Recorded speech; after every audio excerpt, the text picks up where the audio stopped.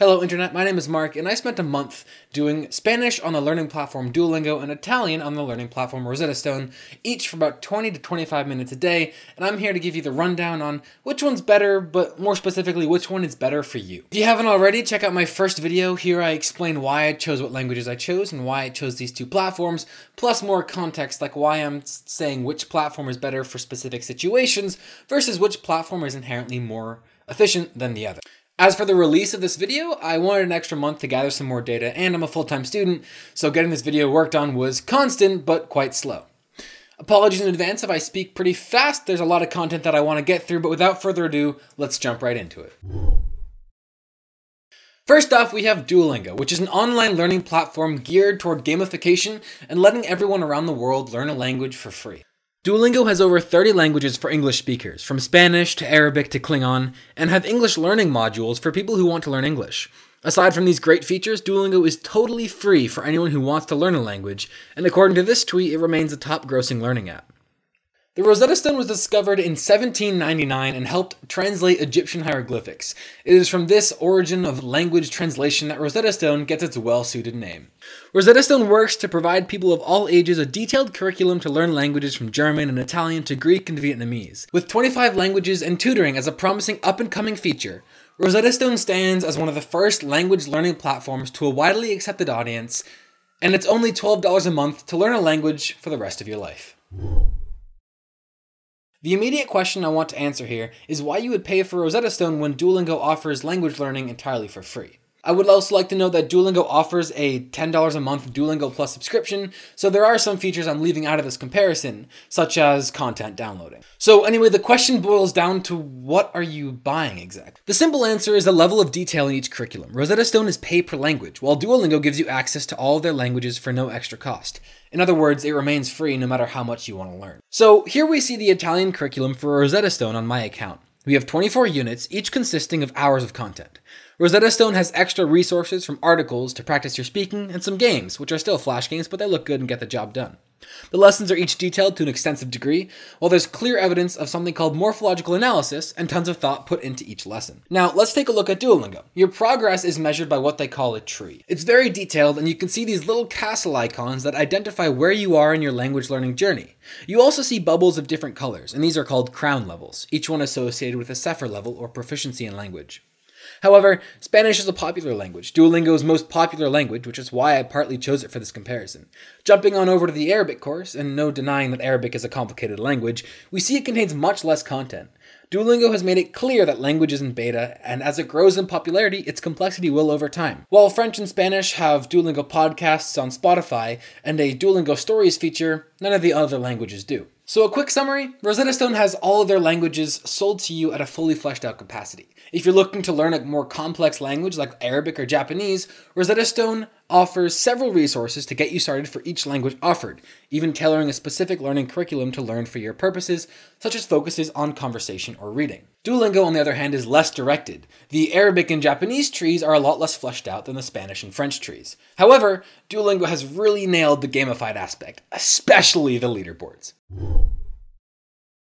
Okay, now that's out of the way, I'm going to throw some terms at you throughout this video and I'm going to quickly explain them. First of all, we have CEFR, which is essentially a measurement of language proficiency. It has A tier, B tier, and C tier. Essentially, if you are A1, you can say hi, goodbye, and that's about it. If you are C2, you are native in that language. You were born and raised speaking that language. Then there's morphological analysis. It's a very complicated process, but in terms of how I will be referencing it in this video, what's important is that if I show you this image here, and tell you the word mela, and that it's an Italian word, then maybe you might make the association that this is a mela in Italian, and now you know that an apple in Italian is una mela. Lastly is a term that I call the English middleman. We think in our native languages, and for me that's English. For instance, learning French in school, we often use English as a bridge between the language we're learning and the way we think about it. When we first learn my name is, you learn je m'appelle. However, in reality, je m'appelle is I call myself, but the grammar is a little switched around. Getting rid of this English middleman can be done by either not using it or through implicit learning. You say je m'appelle enough and you don't have to think, my name is je m'appelle, before you say what you want to say. Anyway, done with the terms, let's kick it off and go straight into Duolingo. Duolingo, the gamified language learning platform that feels positively rewarding as you gain experience throughout the day. They've mastered the ability to get people to stick with their software, and while their extreme plan says to get 50 experience a day, which would be about 10 to 15 minutes, maybe more depending on the complexity of the levels you're on on Duolingo, you can keep going way beyond. Recently, there have been some leaderboards added to the website, and those have been keeping me on the French grind alongside keeping me motivated for Spanish. Duolingo is great for learning a language in your downtime in a relatively non serious atmosphere. I've been able to pick out Spanish words from conversations that I've heard around the city. What I love about Duolingo, aside from the wonderfully competitive leaderboards, is the way that they teach you about the structure of language. If you're learning a language casually, you could go through the tree and do each bubble at level 1, ignoring levels 2 through 4, and get to the end relatively quickly. I wouldn't recommend this because you'll end up forgetting everything, and the way Duolingo works is reinforcing what you get wrong. If you want to go a little bit more advanced, do levels 2 and 3. If you're looking to get pretty advanced in the language, go for levels 4 and 5. There are more lessons per bubble, and they get more difficult, but it's much more worth it. The ability to choose your own difficulty in this sense is a hugely important aspect of Duolingo. Duolingo also offers little hint bubbles where you can get a more in-depth analysis of what the lesson tries to teach you, although not all the languages have them. I love learning about the rules of language, and this is easily one of my favorite features because if I'm wondering, wait, does this word end like this because it's plural, or is it because of the gender agreement, then I can quickly look it up within Duolingo itself and get a quick answer. Alongside the lessons, when you're learning things, Duolingo has about 10 to 15 little sentence prompts given to you, and if you get one wrong, it gets thrown to the back of the line so that when you finish the rest of the prompts, all the ones that you got wrong show up again. This is hugely helpful because it uses spaced repetition to force you to remember what you might have forgotten. There's a link in the description for more information on how Duolingo does this, and they've made it quite public, but the system does have its flaws. When you get a question wrong, Duolingo will give you the correct answer. For example, if I was translating from French, je mange une pomme, that means I'm eating an apple, and I put the wrong word for mange, which is eating. You see the sentence saying I'm eating an apple, it gets thrown to the back of the line, you come back again, you say, oh, this question the answer was, I'm eating an apple. And you don't try to correct the specific mistake that you made. So when new material is presented, sometimes I get a little thrown off. Duolingo also relies heavily on translation, relative to that English middleman I mentioned earlier. Duolingo has you associate words with words versus words with images or words with meaning. While using Duolingo, if you're taking it seriously, it's incredibly important to not let it do everything for you. No language learning platform is great and will get you to fluency alone. So really thinking of the meaning of words and saying sentences out loud as you learn them on Duolingo is pretty important. Duolingo doesn't have speaking and listening activities for every language, and I believe the speaking is only on mobile anyway, and to be honest, the listening activities are pretty brutal on Duolingo. Sometimes it's hard to tell what the speaker is saying, even on slow mode, and especially when you're learning a language as a beginner, it doesn't really make sense. Overall, Duolingo is fun and worth it. Sure, these listening activities can be pretty crap sometimes, but if you write out the sentence you hear and you think more about it and say, oh, wait a minute, there's an article missing there that I didn't hear the person say, it can actually be kind of helpful. On the other hand, Rosetta Stone does almost the exact opposite and uses virtually no English at all. Rosetta Stone isn't Duolingo. I'm not denying that. It's not a game, it's not free, and sometimes it's hard to stay incentivized. But when you have a true purpose, something beyond a streak, some experience, or a leaderboard, then Rosetta Stone having a system of inherent motivation isn't relevant. Anyway, I jumped into this Rosetta Stone section by talking about how it didn't have an English middleman, so let's jump right into that. What does it mean to have no English middleman? Well, Rosetta Stone shows you an image and it shows you a word. And then you create the association and you have the new word for that object. It's actually kind of funny because I changed my phone to French recently and Rosetta Stone recognized this, but it didn't need to change anything because it didn't need to use a language that I already knew to learn a new language.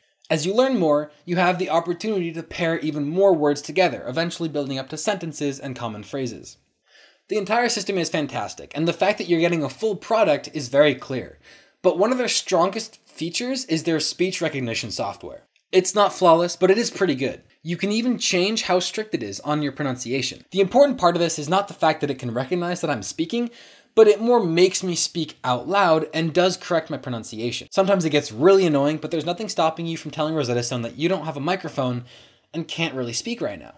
I'd recommend pushing past that a little each time though because speaking is so important, and I found that my speaking in Italian is much better than my speaking in Spanish. Rosetta Stone does have a bunch of other features as well, from small little flash games and talking to people all around the world. However, my favorite and arguably the most useful feature of Rosetta Stone are their stories. There are around four articles per unit. And essentially, a story is a small article, with each one introducing new vocabulary with the same level of grammar you are at, and staying relevant to the appropriate unit. It's absolutely amazing. I have yet to do more of these articles, but the most important part about them is that it teaches you application of the language. You can even record yourself and play it back to critique yourself and listen to someone else telling it. However, as much as I've looked around, Rosetta Stone doesn't seem to have resources that fall back on the use of language, similar to Duolingo's little bubble features. Now, for me, and this may sound odd, but I love the rules of language. I love learning the grammar and syntax of languages, such as verb endings and common patterns that you might see throughout languages. Rosetta Stone has no default resources for this. From what I can tell, they're simply not there. On the mobile app, you can sometimes see the translation of the sentence you're given. And yes, Rosetta Stone does have a mobile app, and no, it's not just a bad port.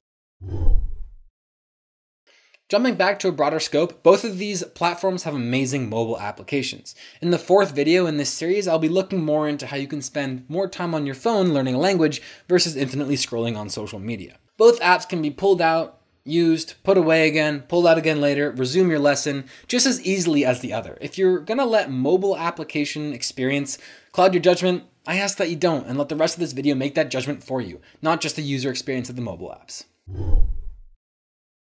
It's rubric time. In my first video, I mentioned I'd have two rubrics to compare these two platforms, but I trashed the one that tested my reading, writing, speaking, and listening comprehension because that was more of a judgment on my own ability to learn the language and less of the ability of the language platforms to teach me those languages. Now, in regards to this primary rubric, I did cross a lot of things off because there are some things I simply just didn't get to, such as conversational fluency, and thus I couldn't give an accurate judgment. Duolingo uses English in a pretty productive fashion with their speech bubbles, but it's pretty tough when it comes to the translations. Rosetta Stone absolutely removes English, but I docked a few points because you don't have any resources within Rosetta Stone to look up the rules of language. Now this does make sense because Rosetta Stone is to teach you a new language by using only that new language and the images that they give you. For example, they don't have to make rules for French, English, Italian, Spanish speakers all trying to learn another language. I'm sorry, but Duolingo's default listening activities are totally garbage. Especially for someone learning to speak a language, even on slow mode, they're really hard to understand. There are additional activities called Duolingo Stories, which are great. They're done more professionally and slower for beginners and are much more interactive. Rosetta Stone does have listening activities. It's pretty much all listening, but unfortunately lacked a few direct activities I would personally like to learn from. Duolingo easily gets full points here, and Rosetta Stone's pretty close. I love their stories feature, and they have you read words and sentences, but their typing feature makes me so mad. If you forget a letter, it just shows a little highlight on the letter that you got wrong. It doesn't tell you what you get wrong, and sometimes capitalization is important, sometimes it's not, and it really doesn't explain that very well, and it really annoys me. Due to Duolingo's nature, it doesn't keep the courses too fresh by default, but it is good because you can jump around different lessons. For example, you can go through an entire portion of the tree at level 1 and then jump around as you do levels 2, 3, 4, and 5. Rosetta Stone also does a similar thing where you can do basic vocabulary and keep building off of that. However, you're much more free to jump around to Unit 12 before you finish Unit 11 and so on and so forth. This is a tough one to measure because it's pretty subjective, but I definitely say that Duolingo wins this largely due to its repetitiveness. I found that in Rosetta Stone at the end during the unit tests, there are so many words and phrases to choose from, but the unit test was only looking for relatively few specific ones. Another tough one to measure, but I did keep it in because I found that, you know, throughout the city, hearing both Italian and I guess more often Spanish, I could make out the words of the language and understand what language it was, and maybe even some common phrases, and not just hear it as, you know, the mumbo jumbo that we do when we don't learn a language. Final verdict. So, all in all, Duolingo scores a 44 and Rosetta Stone scores a 46, both of them out of 60 points. Now, do take this with a grain of salt because it's pretty subjective on how I learn and how I prefer to learn languages. And so, in the following minute or so, I've outlined a few specific scenarios to help you decide what's better Duolingo or Rosetta Stone. Are you a student learning a language and you need some extra help outside of class? I definitely recommend Duolingo. It's a great supplemental source, it's free, and you can take a placement test in case you're in a higher level. Are you traveling and need to learn a language conversationally? I'd go with Rosetta Stone. You have a clear purpose on why you need to learn your language, and also Rosetta Stone has some pretty helpful phrases and tips on their mobile app that you can pull out at any time. Are you looking for just a fun and relaxed way to learn a language? Go with Duolingo. If you're a kid or you have a kid and you want a fun way to learn a language, Duolingo's fantastic. They've really nailed the gamification aspect. Are you learning a language with a specific purpose in mind, such as getting better specifically at writing or specifically at conversation? I'd go with Rosetta Stone. They have this pretty cool feature where it can tailor your curriculum to give you more activities that are relevant for what you want to get good at in the language of your choice. If you're looking to learn a language that's less popular and harder to learn from English, such as Arabic, Japanese, or Russian, I would start off with Duolingo because then you can say, okay, this language is great, let's go with it, or eh, not so much. And if you choose to go with it, definitely get Rosetta Stone. They have a professional course right out of the box and it's fully fleshed out. All in all, it comes down to what your scenario is. For me, for French, I'm using Duolingo because it's pretty lax, I'm pretty good at French already, and I'm just learning vocab words that I don't already know. As I've learned from Duolingo suddenly switching things up and Rosetta Stone's end of unit tests, you will have to do some learning outside of the classroom if you want rapid success.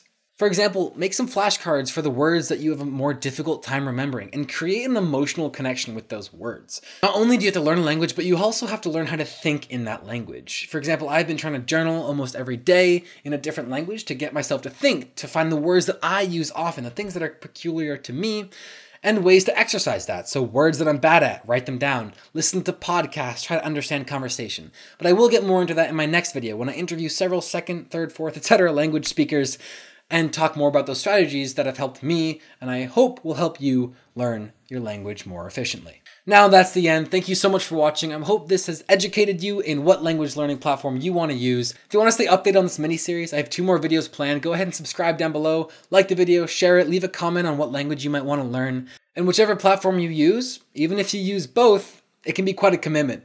But nevertheless, just five, maybe 10 minutes a day can teach you a new language for the rest of your life, and I definitely recommend it. So thanks for watching, have a good one, and as always, don't forget to stay awesome.